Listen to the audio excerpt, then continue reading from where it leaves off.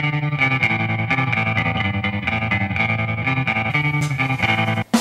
guys, welcome to Quadrysteria. Uh, I got a bunch of stuff I want to talk about today. Had a great weekend. It's like summer here in the Northwest. Uh, not sure what's going on with the weather, but it's like sunny and 60 degrees. I think our winter is over early. Um, my test pilot, D-Man, local guy, he started up a race uh, league locally and uh, had a great time flying out with gates um, and hoops out at our local AMA field here in Washington State. Um, but he has these cool stickers for us. We come in peace, drones. Um, so I want to talk about several things on the Mini Mamba because I did uh, build a second one. Uh, this one here with the SunnySky 2207s and uh, 2100 kV. Um, wanted to test out how it flew. And uh, another thing, look at this orange receiver on S-Bus to the Naze. So I want to talk about that. You'll notice these uh, headlights um, and uh, a few recommendations that come out of that and mainly how to set up this, this orange receiver. Okay, so first I'll talk about some of the differences between these two Mini Mambas. So this Mini Mamba has the SunnySky 2204 2300 kV motors um, and a 12 amp Quadrysteria Pro ESCs, also known as the Blue Series. Um, this one has a Boss Cam 600 milliamp video transmitter. Um, they both have an orange R800 receiver, and this one's hooked up to the Naze and configured for PWM. This guy's got the SunnySky 2207 uh, 2100 kV motors, fairly new product. And uh, when I bench tested that, it went over 20 amps, so I put the 25 amp uh, Quadrysteria Pro ESCs on this. So the all-up weight difference between these two is 72 grams. So the bigger motors, uh, all-up weight right here, FPVs, 532 grams, and the all-up weight with the SunnySky 2300 kVs, um, 460 grams, so we got a difference of about 75. that extra weight was enough to, in my opinion, make these bigger motors not worth uh, the extra weight on 3S. However, I flew it on 4S, and then it was pretty, you know, it was fast. Um, still, though, you need a 4S battery, and I flew this guy. This is a Nanotech, and I'm getting I'm getting really disappointed with these standard nanotechs. You know, maybe the A specs might work better. But uh, 1.6 4S up to 50C, so 1.6 times 50 is exactly 80 amps. So if, on average, I'm not going full throttle. Let's say I'm drawing 20 amps on each of these. That's 80. That's exactly 80. I flew with this battery and uh, got less than five minutes and the sucker puffed like a blowfish, honestly. Um, it was, and it was hot. It wasn't just warm. So, amazingly, the cells look pretty healthy still, and the, and the puffing's gone down. So it may still be a workable battery. I got lucky that time. But on these motors, taking the amount of amps they do for uh, minimal boost in speed, I'm thinking is not what I'm going to recommend. I, I still, for now, love this setup, the SunnySky 2300 KVs, the 2204 size, 6x4 pro 5 props, uh, 12 amp ESCs, and you can fly this 4S too. Um, great little setup. That's my favorite. Flies like a dream.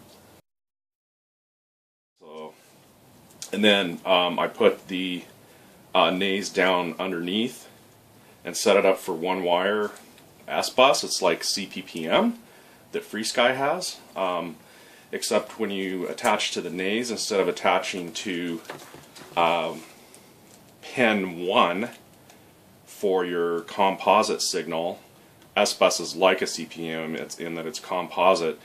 The signal goes into uh, pin 4, which is right below, it's on the second layer on the bottom of the board. So I've wanted to try uh, that for a long time.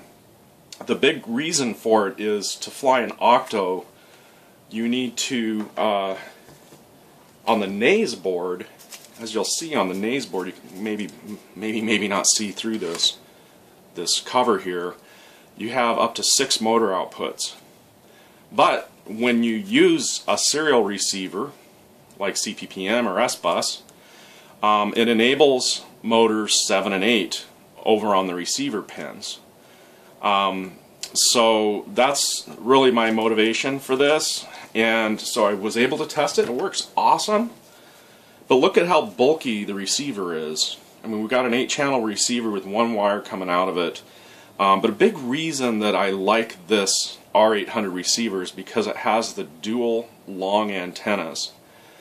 Now, I've done a quick check, and uh, Orange Receiver has a small, uh, it's a three-channel PWM, but it has S-Bus, which is up to 14 channels, and it's a dual long antenna, so I'm really looking forward to getting that.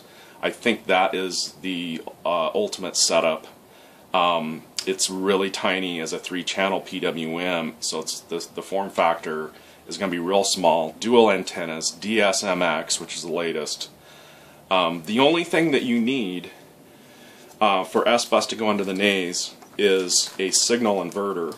And so for about five bucks, these little cables that have a signal inverter, all that does is make, if you put it on the oscilloscope, instead of the, the high being high and the low being low, it's reversed. And that's what uh, the Naze needs to be able to handle uh, S-Bus.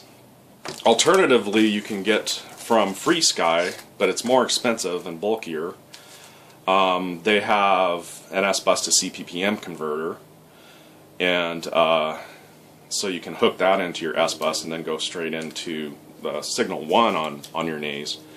But the S-Bus, you know, it's the same thing, so why not just do the signal inverter, cheaper, smaller, and uh, so I've ordered some of those those tiny little three channel. It's almost, you know, it's the size of one of the larger satellite receivers. But the reason I don't like the satellite receivers or a lot of the other orange receivers have a single antenna. They're very short and stubby, and with a carbon frame, you really do risk um, getting a brownout. Maybe, uh, you know, kick into fail-safe mode. If your antenna is just like this high above the carbon fiber, uh, you're going to get uh, signal block when your frame's like this way from you, get a brownout, go into failsafe, uh, might have an accident. So uh, that's why I like to put the antennas also on zip ties to keep them way up high. Uh, so look for that. We'll be doing that test.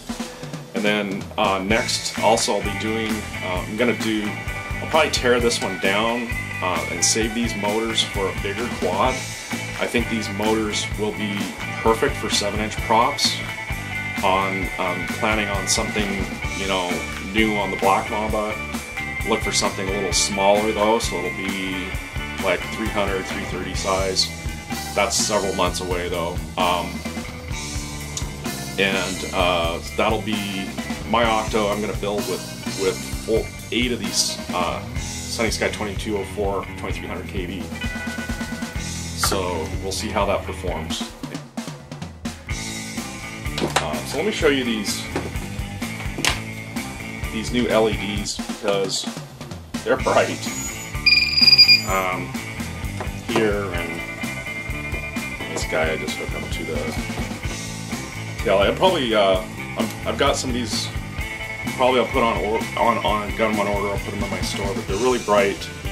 Uh, you could even uh, change colors, for example, by throwing a on top of the light one of these Quadrysteria